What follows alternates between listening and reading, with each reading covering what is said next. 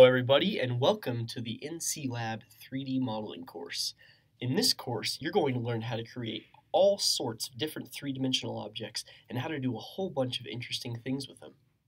In a little we will even show you how to print out the objects you design using a 3D printer. But before we get too carried away you need to learn some basics. All of the modeling that we're going to be doing throughout this course will be done with a simple scripting language based off of the Python programming language. However, the geometric and logical principles that you learn here will be applicable in many other places. Let's start out by showing you how to create two-dimensional objects, how to color these objects, and then how to display them. I'll open up your NCLab environment here by checking out the Creative Suite, 3D Modeling, Plasm, and here we go. I will then delete all the sample code so that we may get started. First things first, we have to create an object. I'll show you how to make a square to begin with, though as you will see in future videos, there are many other shapes that you can make. There are two parts to making a shape. First off, the creation of the shape, and secondly, the naming of the shape. So let's start with the name. In this case, I'm going to call our shape my square.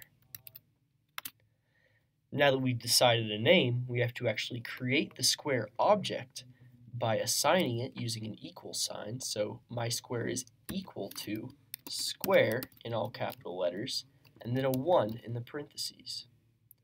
There are a few things that you need to know about this line of code to understand it. First off, notice that square is both in all caps and that it's colored. This is because it's a keyword in the scripting language that we're using. Keywords are words used in the language that have to be in all capital letters, and our text editor recognizes them by giving them color. You can see that if I make just one of the letters in the word square lowercase, the text on the word turns black. Then if I press run program at the bottom, it gives us an error because our keyword is not in all caps. There are many more places where you will see keywords later on, and I will point them out as we go along with our course. Let's put it back to a capital. The other thing that you should notice here is the number 1 inside the parentheses. This is called a function parameter, and for the square function, it gives us the length of the sides of the square we can actually put any positive number that we want in here as a parameter. The side length of the square is an arbitrary unit of length, which means that it does not represent inches, centimeters, feet, or any other actual unit of length. We are creating a model here, and these units determine the shape and the proportion of our model. In later lessons, you'll learn how to rescale this model to whichever actual real world, real world units that you choose.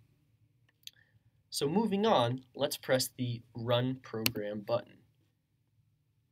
And nothing is displayed in the viewport on our right. But why is that, you might ask? After all, we did just create an object. Well, the reason why this happens is that we have not yet told the program to display our object. We do this using the show function. So the show function is like square a function, which is in all caps because it's a keyword. See, inside the parentheses after show, we just have to put the name of the object that we would like to display, which in this case is my square. So if we press run program, let's see what happens. And here we go, we have our square in the viewport to the right. Now, just a couple quick tips on the viewport. We can move our object around using our mouse, and we can zoom in and we can zoom out using these buttons. Another important thing to notice is the X and Y axes. These define the frame of reference for our viewpoint. If we go to settings and we click show grid, then we can see the actual XY grid that our object is made in. So one more thing to notice. Our square here is gray or steel colored. This is the default color of any shape created here. If we want to color it differently, what we have to do is use the color function. The color function, like square and show, the other two functions that we've used so far, is in all caps because it's a keyword.